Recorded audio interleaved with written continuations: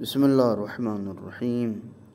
حضرت امام حسین علیہ السلام کے مقصد شہادت پر سب سے زیادہ روشنی آپ کے اس وصیت نامے سے پڑتی ہے۔ جو آپ نے مدینہ سے روانگی کے وقت اپنے بھائی جناب محمد حنفیہ رحمۃ اللہ علیہ کے نام لکھا تھا، اس میں آپ نے فرمایا کہ یہ وہ وصیت نامہ ہے جو حسین ابن علی نے اپنے بھائی محمد حنفیہ کے نام لکھا ہے۔ حسین گواہی دیتے ہیں کہ خدا کے سوا کوئی معبود نہیں اور وہ واحد ہے جس کا کوئی شریک نہیں۔ اور جناب محمد مصطفیٰ صلی اللہ علیہ وآلہ وسلم اس کے عبد خاص اور اس کی طرف سے رسول برحق ہیں۔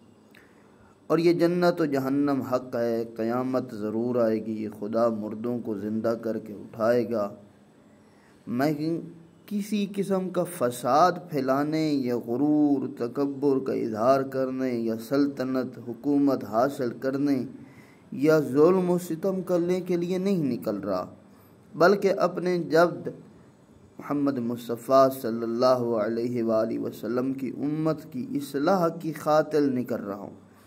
میں یہ چاہتا ہوں کہ معروف یعنی نیکی کا حکم دوں، منکر برائی سے روکوں جس میں پورے عالم اصناح انسانیت کی فلاح و بابود اور اپنے جد اور اپنے والد کی سیرت پر چلوں۔ پس جو شخص مجھے برحق سمجھ کر قبول کرے گا، جو حقیقت میں حق ہے، تو حق تعالی یعنی خدا اس کے حق کو قبول کرنے میں اولا ہے۔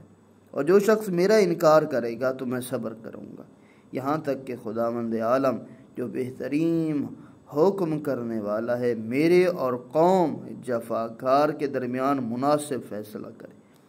اے بھائی، یہ میرا وصیت نامہ ہے، خدا ہی کے قبضہ قدرت میں توفیق ہے۔ میں اسی پر بھروسہ کرتے ہوئے اسی کی طرف رجوع کرتا ہوں۔ یہ امام حسین علیہ السلام کا مقصد شہادت تھا۔